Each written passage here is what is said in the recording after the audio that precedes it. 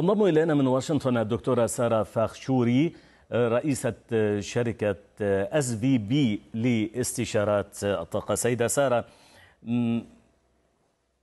ماذا يعني هذا الاتفاق؟ أهو اتفاق وسطي يرضي الجميع وهو في مصلحة أسواق النفط؟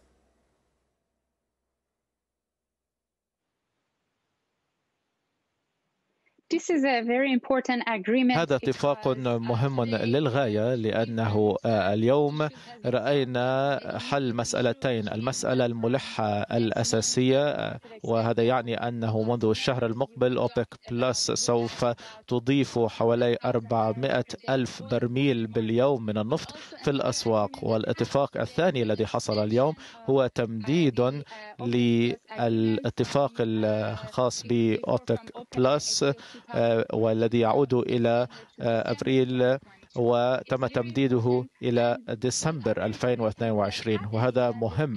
والنقطة الأساسية الأخرى هي أن الخط الأساسي للإنتاج تغير ليس فقط للإمارات العربية المتحدة ولكن أيضا للسعودية وروسيا والعراق والكويت. ونحن نتحدث عن مستوى إنتاج عالي وفي مايو 2022 سوف يتم تمديد ذلك لديسمبر 2022 وماذا هنا عن عما كان يحكى عن تطورات جائحة كورونا. إلى أي مدى هذا الأمر يمكن أن يؤثر مستقبلا خلال العام المقبل على موضوع الإنتاج في ضوء هذه الزيادة؟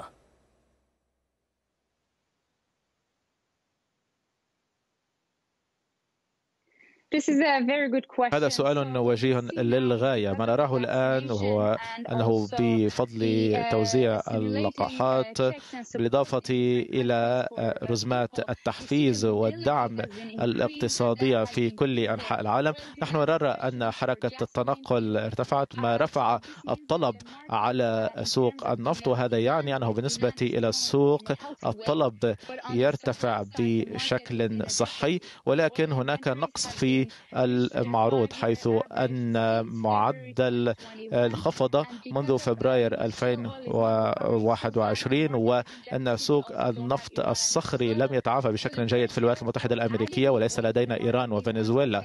إذا الضغط الآن يقع على كاهل أوبك بلس وأعضاء أوبك بلس اجتمعوا بشكل دوري وحاولوا أن يؤمنوا الاستقرار في الأسواق من خلال إضافة الإنتاج وهذا يؤدي إلى استقرار إضافي وإمكانية توقع الأسواق حتى نهاية عام 2022 إن الأعضاء التزموا بالاجتماع بشكل دوري وتعديل الإنتاج بالاستناد إلى حاجات السوق. طيب بالحديث عن حاجات السوق هنا دكتورة دكتورة سارة عفوا ماذا هنا عن الأسعار؟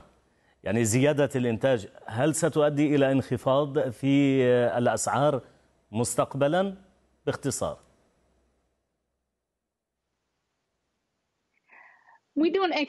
لا نتوقع أن هذه الزيادة في الإنتاج سوف تؤدي إلى انخفاض أساسي في السعر لأن هناك نقص في المعروض في الأسواق ولكن هذا يمنع رفعا إضافيا للأسعار. هذا مهم أن الأسعار لن ترتفع بشكل سريع ولكن ليس بالضرورة أن تتراجع هذه الأسعار بشكل كبير لأن هناك حاجة في السوق هناك طلب أكثر من المعروض وذلك بسبب التعافي جراء جائحة كورونا. دكتورة سارة فخشوري من واشنطن رئيسة شركة أس في بي لاستشارات الطاقة. شكرا لك.